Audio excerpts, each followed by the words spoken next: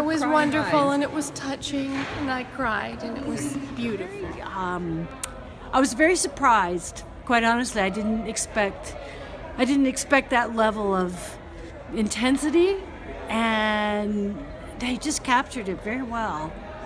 The show is fantastic. You have to go.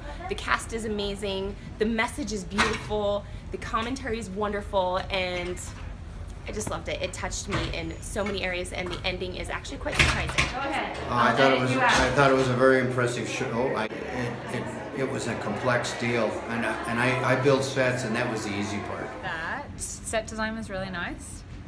Um, the actual message of the story was really sweet to me because I'm a long way from my family, and the whole concept of everyone feeling like they were trying to express love, but it, their way of communicating it wasn't necessarily received, um, and that kind of everyone feeling a little bit upset about it um, was really relevant, and I think that's a nice thing to touch on.